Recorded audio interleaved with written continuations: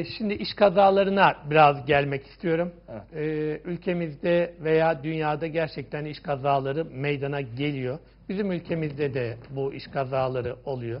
Yani e, günde yaklaşık 200 tane kaza olduğu istatistiklerden buldum ben de. Evet. Ama ülkemizde ortalama 1500 tane insan iş kazası sonucu hayatını kaybediyormuş. Evet.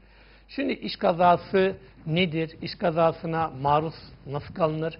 İşveren ve işçinin yapması gerekenler neler? Şimdi iş ka- kaza bir kere ani gelişen bir olay. Maddi ve ma- manevi zarar doğuran bir olay. Evet. E bu trafik kazasıysa trafiktir. Ama iş kazası olması için e, iş kanununda gösterilen yerlerde iş iş, iş yerinde olması lazım. Veya Evet. iş yerinde olmasa bile e, işçinin e, himayesinde iş- çalıştığı işin mahiyeti örneğin şofördür. Yolda gidiyordur. Bu iş yerinin alanıdır. İş yerinin bahçesinde olabilir. Bahçesinde araba geliyordur. Adam çarpmıştır. İş kazası iş yerindeki işverenin talimatıyla ilgili işçi e, hast, hemşiredir. Gitler şuradan fatura yatır. Fatura yatırırken e, araba çarpar, kafasına taş düşer. Her şey olabilir. Yani Evet. iş kazası maddi ve manevi zarar doğurması lazım öncelikli olarak. Maddi ve manevi zarar doğurduğu takdirde ve iş yerinde olduğu takdirde iş kazası söz konusu oluyor. Şimdi burada işverenin e, derhal iki gün içinde iş bölge müfettişliğine başvuru kaldırıldı. E, Sosyal güvenlik merkezine hemen bildirmesi lazım. Yani İşçi mağdur 48 olmuş. saat Evet, içerisinde derhal.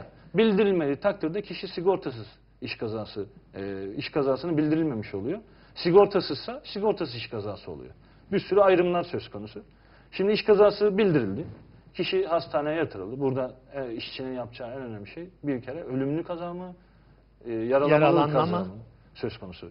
İş kazası Türk Ceza Kanunu'nda suç teşkil ettiği için trafik kazası Evet. gibi e, polis adli tahkikat yapması lazım. Polis, jandarma veya sahil güvenlik. iş yerinde. İş yerine. Bunu hemen bildirmeleri lazım. Şimdi iş kazası olup hastaneye gitti kişi yaralanmalıysa. Evet. Yakın arkadaşı işçiler e, hemen e, polis karakoluna veya işte o adli e, hastanenin polisine gidebilir. Orada der ki iş yerinde oldu. Hemen iş doktorlara da bildirirler iş kazası. Kaldığımız yerden devam ediyoruz. Alo. Muhammed Aktuğ İstanbul. Muhammed Bey hoş geldiniz. Hoş bulduk. Ee, Met- Metin Bey. Buyurun, buyurun, Ee, buyurun hocam. Ya, yayınınızı e, il- ilgiyle izliyoruz. Aa, teşekkür Ee, ederim. Çok da e, yararlı, e, faydalı e, bir program yapıyorsunuz. Evet. Ee, Bu anlamda ben e, konuğunuz Suat Bey'le e, bir konu hakkında görüşmek istiyordum. Tabii ki. Buyurun. Ee, Şimdi e, iş kanunu e, Türkiye Büyük Millet Meclisi'nden e, hazırlanıp çıkıyor. Bu e, iş kanununa göre e, tabii ki hem e, iş hayatı düzenleniyor e, hem de az önce e, söyleşinizde yine e, Suat Bey e, de dedi ki e, işçilerin e, insan e, haklarından doğan e, haklarıdır. E, işte bu e, çalışma e, hayatındaki e, düzenlemelerle ilgili e, konular. E, ancak e, şimdi sosyal devlet ilkesi e, olarak bu e, taşeron firmaları denetleyici bir e, mekanizma e, yok mu? Tabii ki e, şimdi e, bu işçilerin örgütlenme düzeyi, bilinç düzeyi gereği bir de e, işverenlerin, taşeron e, firmaların onlara yaptığı e, baskılar sonucu e, bu haklarını e, koruyamaz durumda e, oluyorlar. Ama sosyal devlet ilkesi gereği bu taşeron firmaları denetleyici bir mekanizma e, yok mu? E, işte e, bu firmalara gelip filanca işçi e, izni kullanıyor mu? Sigortası e, işte tam yatıyor mu? Gibi bu anlamda bir e, denetleme mekanizmaları yok mu Çalışma Bakanlığı'nda? Ve barolar olarak e, avukatsınız. Barolar olarak böylesi bir mekanizmaların e, olması e, doğrultus- doğrultusunda bir e, çalışmanız var mı? Evet, teşekkür ediyorum e, Şimdi- Muhammed Bey. Soruyu aldık e, Evet, Muhammed Bey'den. Şimdi e, denetleme mekanizması var mı? Şimdi Evet. denetleme öncelikli olarak denetleyecek kişi asıl işverendir. Asıl işveren örneğin misal enerji sektörü ise Enerji Bakanlığı'dır. Ama bakıyorsunuz ihaleyi alan işte resmi işlerde e, biraz ahbap çavuş ilişkisine gidiyor. İhaleyi alanla aynı tarafta yer alıyor. Bu sefer asıl işveren. Asıl işveren müdürlük, Enerji Bakanlığı, Sağlık Bakanlığı veya işte veya Evet. işçiler hak hiçbir şekilde bir başvuru yapmıyor. Bunu denetlet, bir denetlettirmiyor. Misal diyelim ki Sağlık Bakanlığı'na bir çıkın bakana kardeşim böyle böyle işte taşeronlarınız böyle senet imzalatıyorlar. Senetleri şöyle yapıyorlar. icraya vereceğim korkusuyla bize hak vermiyorlar. Gelin denetleyin başka işlerde şey yapıyorlar. Çalışma şartlarımız zor demiyorlar. E, tamam hadi iki tarafta işveren. Şimdi ne yapacak? İş müfettişlerine iş kalıyor. İş müfettişleri de bir yere kadar inceliyor. Kayıtlara göre inceliyor. Kişi 45 saat çalışıyorsa e, yazılı bir belgesi yok. E, diyor ki o zaman git iş mahkemelerinde. Dolayısıyla e, mahkemelerde iş bitiyor. Mahkemelerde tabii herkes başvuramıyor. Gene aynı sorun. E, Bara, İstanbul Barası olarak adli yardımımız bir e, kurum var. İstanbul Barası e, avukat ücreti olmayan, ödeyemeyecek kişilere herkese, bu sadece iş davası olarak değil, boşanma davası, başka dava. Adli olaylarda da. Adli olaylarda ücretsiz zaten e, avukat veriyor. Evet. Yani masrafları karşılayamayacağı takdirde de masrafları da e, fakirlik belgesi tarzında şeyler ikametgah getirdiği takdirde e, buradan başvurabilir. Baroların bu konuda taşeronlarla ilgili e, asıl iş yaptırdıkları için dava aç, açtıkları görülüyor mu? Baroların e, dava açtığını görmedim ama iş ve sosyal güvenlik e, şeyi var, heyeti var orada. İş bununla ilgili çalışmalar söz konusu. Yani hukuki danışmanlık ve işte avukatlık dışında zaten e, direkt olarak e, söz konusu olamaz. Çünkü bir kişilerin, işçilerin başvurması lazım. Yani kişi mağdur olanların başvurması biraz daha gerekiyor. bilinçli ve örgütlenme olması lazım. Asıl işvereni zorlayacaklar. Versinler dilekçeyi asıl işverene, Enerji Bakanlığı'na veya işte çünkü dava açarken o kişiyi açıyor. Veya İçişleri Bakanlığı'na hangi şeydeyse, hangi koldaysa, kamu teşeronundaysa ondan da bir sonuç çıkmadı mahkemeye gidecek. Mahke Çalışma Bakanlığı'na gidecek. Teftiş kurulu. Teftiş kurulundan da hiçbir şey çıkmadıysa mahkemeye. Ama bu aşamalarda ne oluyor?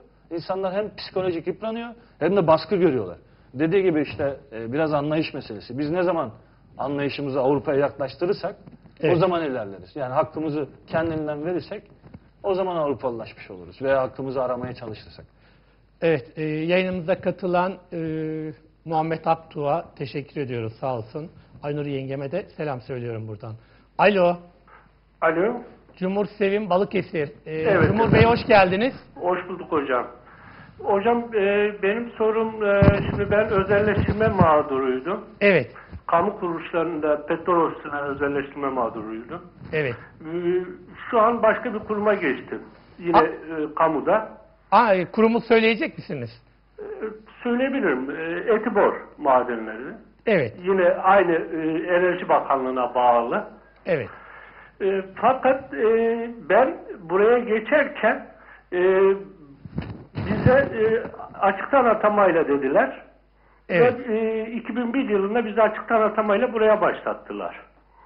2001, 2001 yılında açıktan atamayla başlarken benim bütün sosyal haklarımı önüme bir kağıt koydular, imzaladılar. İmzaladım işte o mecburen çünkü işsiz kaldığım için mağdur kaldım. Ankara Genel Müdürlük'ten bandırmaya geldim Balıkesir.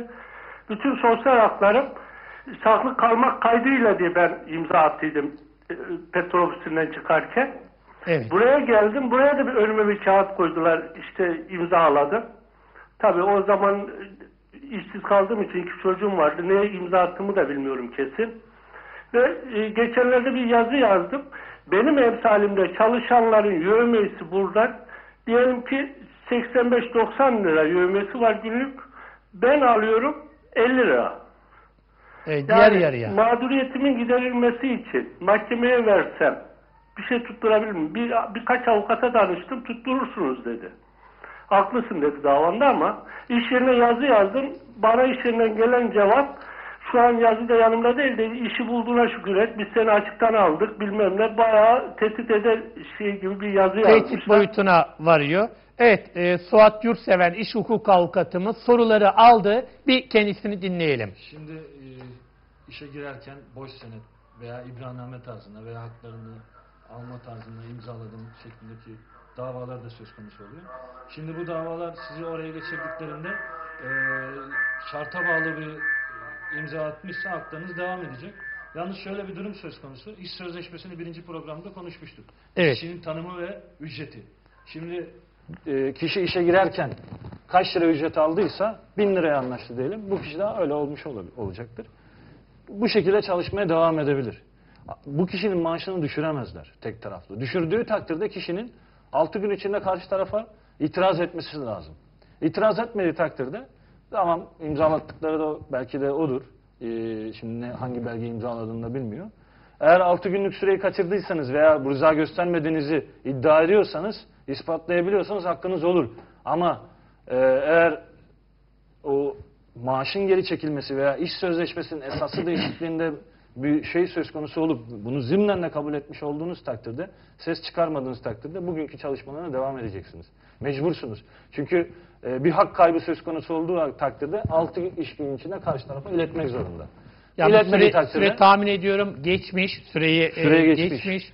Cumhur Bey'in Ayrıca e, incelemek lazım. Şimdi iş sözleşmesi var mı yok mu? Bordroya bakmamız lazım. Bir sürü e, şey. Onu ayrıca bize internet yoluyla ulaşırsa veya bizim telefonumuzu alırsa ben yine söyleyelim iş mağdurları. İsmağdurları.org www.ismağdurları.org Buradan ulaşabilir.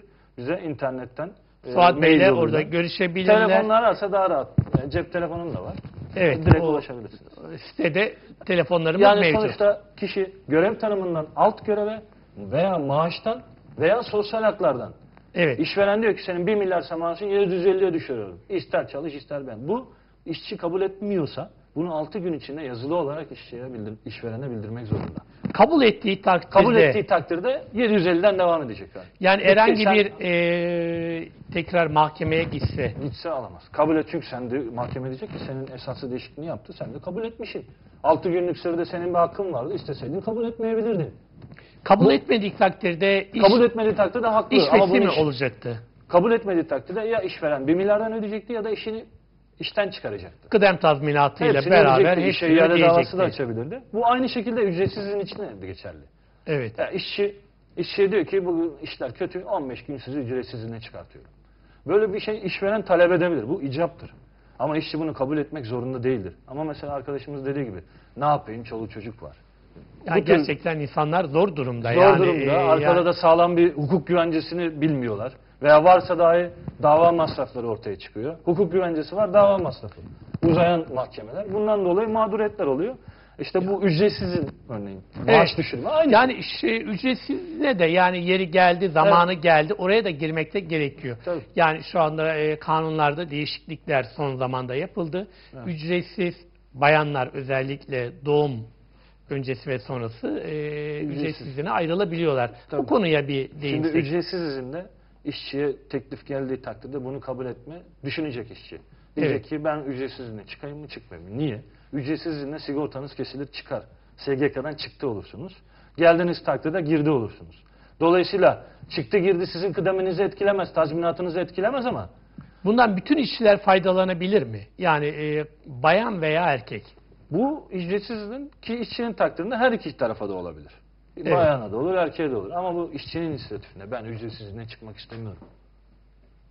Kişi der ki ben ücretsiz izne çıktığım zaman maaş eksik alacağım. Ben zaten tek maaşla geçiniyorum. 1 milyar maaş alıyorum bana 500 vereceğim, vereceksiniz. Bu benim için çok sorun olacak. Ailemi geçindiremeyeceğim. Bu sefer ne oluyor? Bunu kabul etmediği takdirde yazılı olarak işçiden alması lazım işverenin. İşçi yazılı olarak bir onay vermediği takdirde işçi kıdem tazminatına hak kazanıyor. Ya ücretsiz izne çıkarmayacak işveren ya da işten çıkaracak ya da devam edecek çalışmasına. Dolayısıyla ücretsiz iznin de yazılı şart, işçinin yazılı şartına tabi. İşte dediği gibi ücretsiz izin mesela imzalatıyor, ne imzaladığını bilmiyorum. İmzalarken bakacak.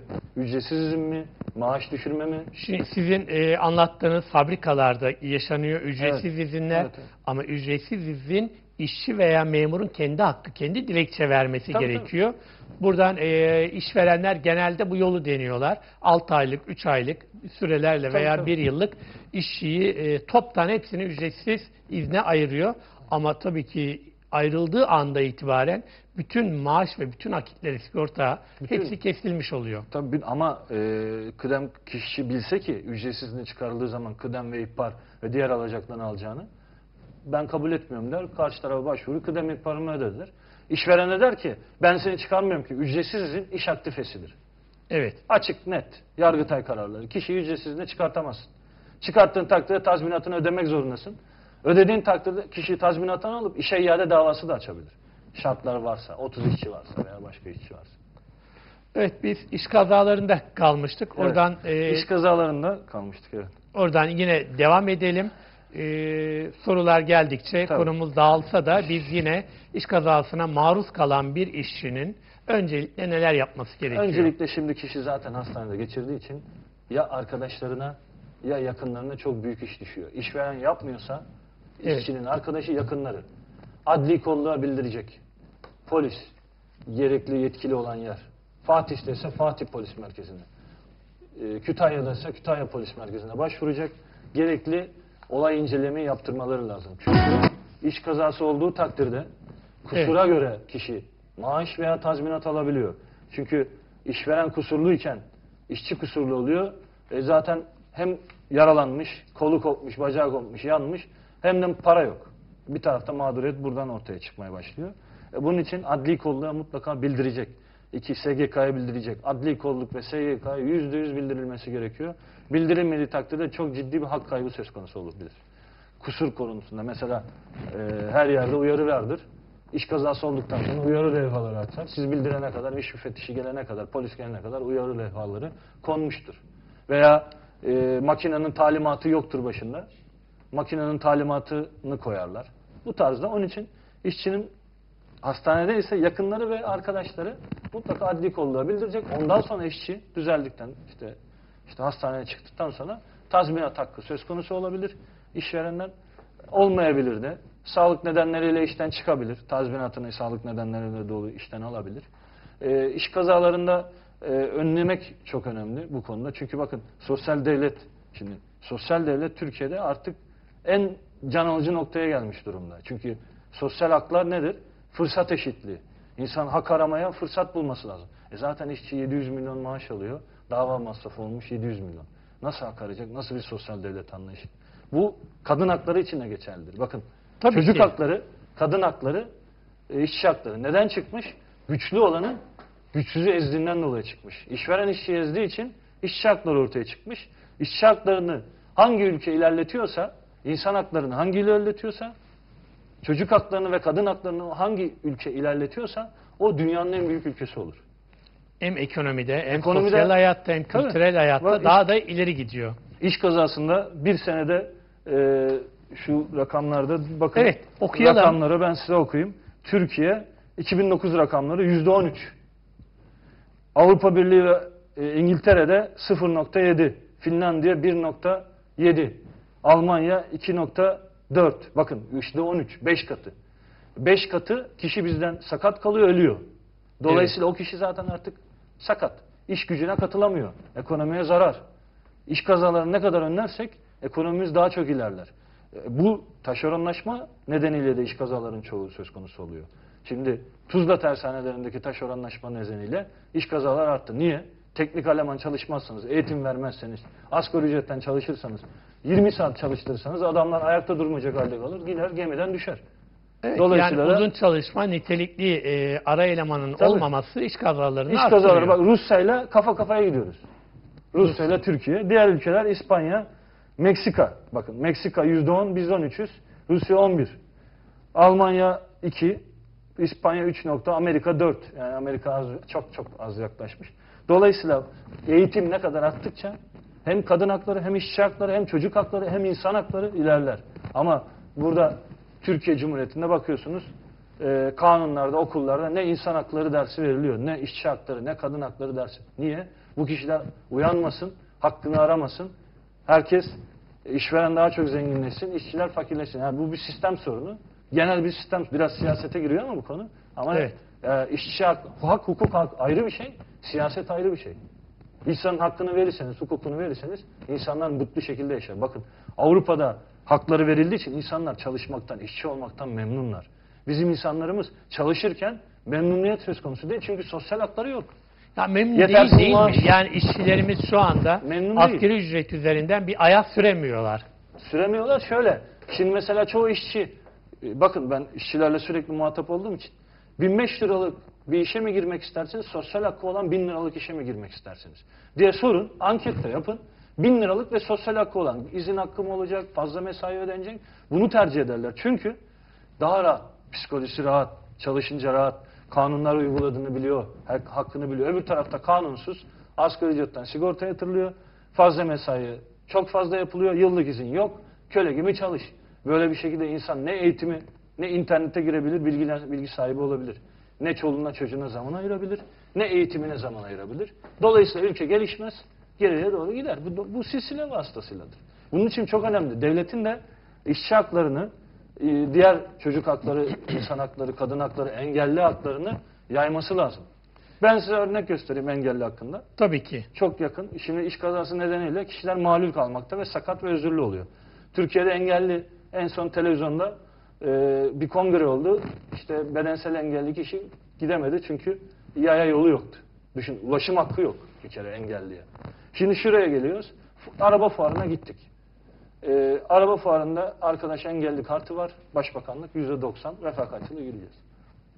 Kişiye soruyor. Sizin ne gibi sorunuz var ki gireceksiniz engelli kartını almışsınız. Şimdi bu bir hakaret insana. Şimdi fuara gireceğiz ve biz engelliye de para alıyoruz. Şimdi Avrupa'da arkadaşım dedi ki ben dedi Fransa'da 100 euroluk fuara Türk kimliğiyle gittim. Çeviri yapıp fotokopi çekip buyurun beyefendi dediler kibarlıkla. Buyurun beyefendi ne demek dediler. Türkiye'de ne sorununuz var? İşte ne gibi şeyiniz var? Bir de hakaret. Biz Ankara'ya aradık. Ben yanında olduğum için hem iş kazası mağdurları derneğiyiz hem de kendisi de Evet. e, altı nokta körlerle bir bağlantısı vardı. Ben dedim Ankara'da biz dedim engelliyiz içeri sokmayın. Bu ne ayıptır ya? Yani biz Fransa'da kendinden sokup Türkçe kimliğiyle giriyoruz 100 eurolu. 10 liralık şeye buradaki para meselesi değil. Parayı alırım yola atarım veya fakire veririm. O kimseyi ilgilendirmez. Ama burada engellinin hakkını uygulamayla engelliyorsunuz. Bakın kanun var. Engelli nereden bilsin hakkını? Ee, orada herkes avukat, savcı, hakim olamaz ki. Evet. Nasıl ben avukatsam zorla giriyorsam normal vatandaş hiç giremez.